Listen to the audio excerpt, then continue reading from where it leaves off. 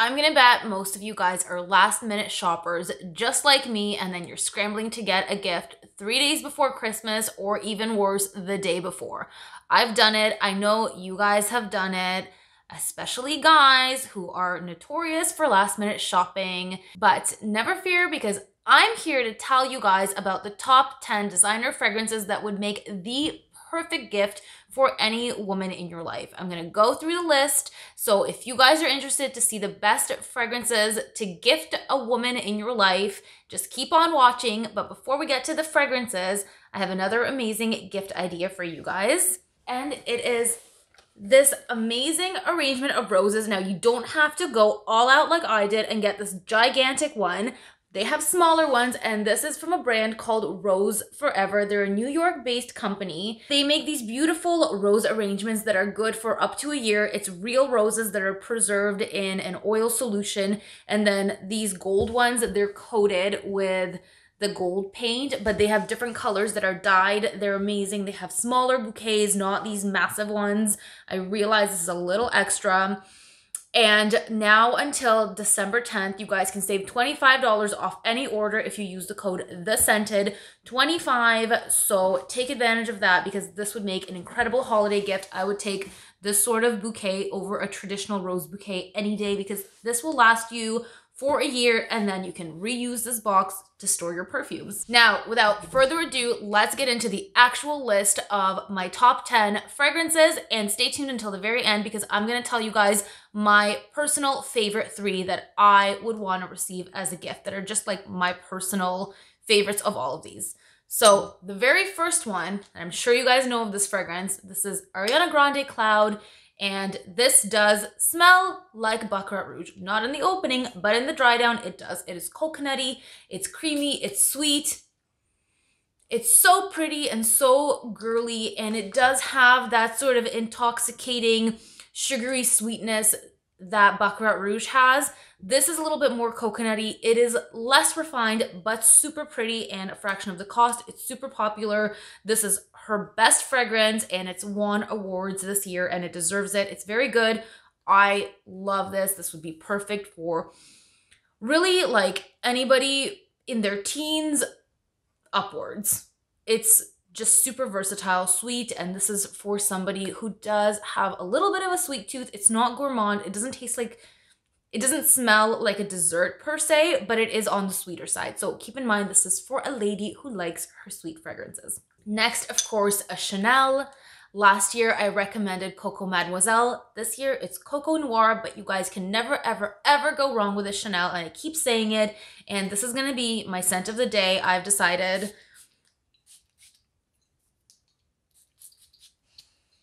because it is my current favorite from Chanel. This does open with a burst of citrus, but it settles. There's rose, clove, patchouli, and the typical beautiful Chanel quality that is in all of their fragrances. It has that noticeable Chanel take. So you have to like Chanel. This is quite sophisticated. I would say 30 plus just based on my own experience and people that I know who love this. They're all usually my age or older, maybe a little bit younger. I'm 31, so hovering in and around that starting point and upwards because it is very elegant, very sophisticated, and mature in a very modern, not outdated kind of way. Next, we have my Burberry blush. This is hands down my absolute favorite from the My Burberry collection. It's better than the original, it's better than the black, this is a really soft, slightly fruity, floral, musky, cozy, elegant, feminine fragrance that like at first sniff, it doesn't really strike you. It doesn't seem very striking, but there's something addictive about the scent that I want to keep on smelling. It's packaged beautifully as well. The way that I had this on my sweater the other day, I couldn't stop smelling my sweater because of how beautiful it smells. It smells very refined even for a designer fragrance. It's a very understatedly classy, feminine fragrance. Very appropriate for the office as well, very appropriate for every day and a very broad spectrum of women that this would appeal to, like at any age. This is very likable. So that's three. Number four, we have Paco Rabanne Olympea. I have the older bottle here. I also have the Olympea Aqua Leger, which I do prefer, but I got this for a steal and I think it's discontinued. If you can get this, I do prefer this because it's lighter and not as caramelly, a little bit more aquatic, a little bit more floral, which I personally prefer. But the original Olympea is gorgeous as well, and it's this rich, sexy caramel saltiness it is a seductive, sexy, sexy fragrance. This is for a woman that is dressed to the nines to go out, hair done, lashes done, makeup done, nails done, everything. Everything like this is very sexy, very going out, seductive, like you're out to get a man. You know what I mean? This is that kind of fragrance get this for your girl. Get this for your best friend if you guys like to go out together and you're a girl and you want to get this for your best girlfriend. This is amazing. Super, super sexy. And yes, it gets hype, but it deserves it. And this is the only Paco Rabanne fragrance that really tickles my fancy. Number five, Dolce Gabbana. I have a flanker. This is called Love in Capri. It is discontinued. It is just a slightly different take, a little bit sweeter than the original light blue. You guys already probably know about this, so I'm not gonna go too in-depth, but it is a beautiful, mass appealing, citrus, musky, sexy, fresh scent for women. Every woman loves this. I have yet to meet a woman who dislikes light blue. Even I like light blue, even though I know that it's so widely worn and known and popular. This is great for the gym, office. If you live in a warmer climate, this is a perfect everyday fragrance. I live in Canada. Unfortunately, it is frigid cold right now, so this is a no-go, but so, so pretty. And yeah, again, wide range of ages this this will appeal to. Even my friends that do not like fragrances like light blue and own a bottle and you can't go wrong with it. It's very likable. That being said, I know that a lot of people recommend the Dolce & Gabbana Light Blue Intense I find the Intense not wearable because it has a very sharp, like astringent scent to it that doesn't go away. And I think I'm sensitive to the aroma chemicals that are used in it to make it intense. Very sharp, very harsh. So keep that in mind if you're shopping for somebody. Yes, it may be longer lasting, but it does compromise the scent profile in my opinion. So just be careful because you may gift it to somebody who is sensitive to it like myself. If you're gifting, I would say go for the original or go for a flanker. There's Dolce Gabbana Light Blue Sun, smells very similar. Any of the flankers really will do. Next, we have Lancome La Vie est Belle L'Eclat. This is the eau de toilette. The parfum is perfect as well. And this is a more modern, sparkling, bright take on the original La Vie Belle, which is so, so, so popular right now. Everyone's wearing it. Everybody knows it. Maybe they're not wearing it now, but they either own it or have been wearing it, and it is just a really popular fragrance. The L'Eclat I prefer because it is a brighter, like I said, more sparkling take on it. It's easier to wear for me. The original gives me a headache. This one does not. The opening of this fragrance is absolutely heavenly. It is sweet, orange blossom, just delicious. And there's jasmine in here, which is stunning. I love this. It does not last as long, so I would say probably go for the eau de parfum. And this really just smells like a beautiful woman. So that would be a perfect gift as well. Number six is Bulgari Omnia Crystalline, and this is the eau de toilette, of course, because the eau de parfum is discontinued. This is another fresh fragrance, but this is a different take on fresh. This has like a, a sweet, sexy underlying muskiness to it. There's a little woodiness. There's lotus, bamboo. It smells fresh. It smells super clean. It smells like you just got out of the shower. This is a freshie with no citrus, which I love because mostly all freshies have citrus. Citrus is enjoyable up to a point, but at one point you get sick of it. I get sick of it. This, everybody will love. It just smells super clean, like you just got out of the shower. Amazing, again, for the office, amazing for just every day, super easy.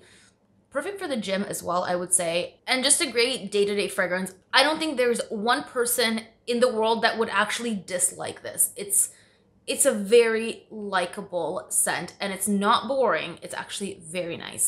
Next is Chanel Chance. I have the Eau Vive, which I love. This is citrusy. This is a citrusy freshie with florals. I had this on my jacket the other day and I couldn't stop smelling myself. It opens up with a fresh burst of citrus, Chanel Elegance, dry, pretty, but juicy as well. So it doesn't have a sweetness, but has like that citrusy juiciness.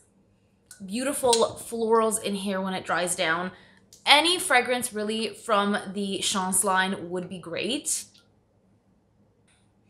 very fresh and it does last. This is a fragrance that does last. I got a good six seven hours. I had it on fabric. It lasted until the next day. So of all the chances this is the more citrusy sparkling one. The chanel chance eau tendre is like a it's tender it's soft it's cozy. It smells a little bit like marc jacobs daisy if you know that. It's a little bit more kind of like a subdued fruity soft scent and then there's the Chanel Chance, the original, which is more patchouli, more elegant, a little bit more powdery. It's got that more of that Chanel sharpness. I also really enjoy that. That one I would say is the most mature of all of them, but they are all stunning. So really you can't go wrong with any from the Chanel Chance line.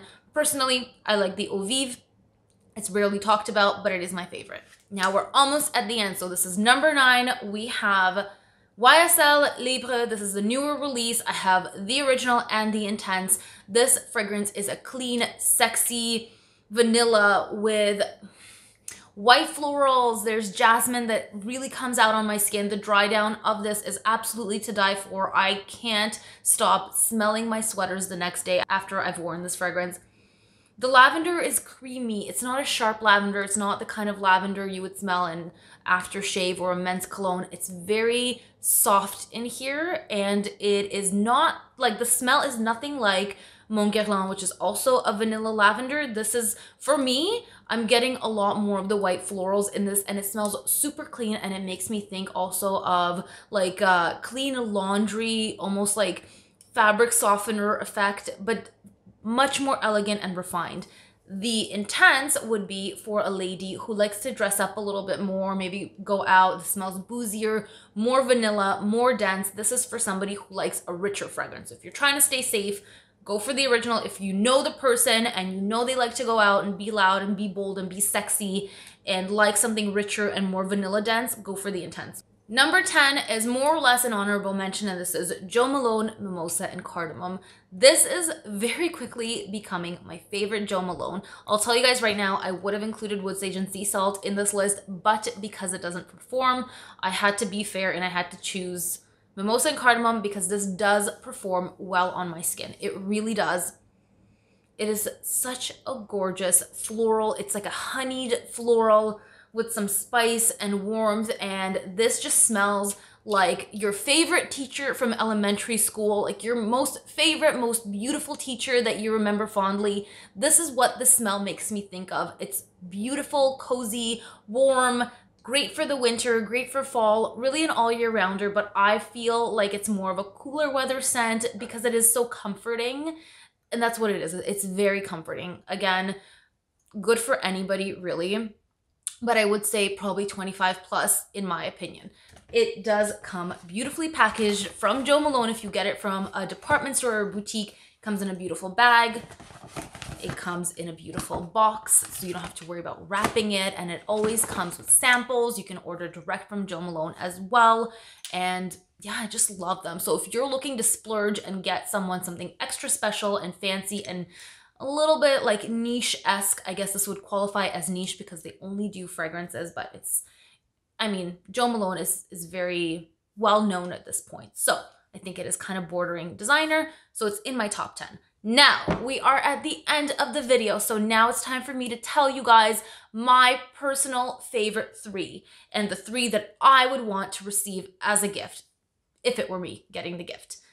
I guess I'll do this in order. On number three, we have Bulgari, Omnia, Crystalline, and yes, it is quickly becoming one of my favorite scents. I love it. I think it is so easy to wear. Of this list, yes, this one is super, super appealing to me. Next, on my number two, we have YSL Libre, and this was probably one of my most worn fragrances of the year. I just think it's absolutely stunning. I love the bottle. I love the scent. I love everything about it. So this is my number two. My number one, take a guess, you guys. Pause the video and take a guess. If you guys know me, you will know what my number one is. And it is, of course, Coco Noir, which I'm absolutely in love with. And it's a 10 out of 10 fragrance and absolutely stunning. These are my three top picks if I had to choose.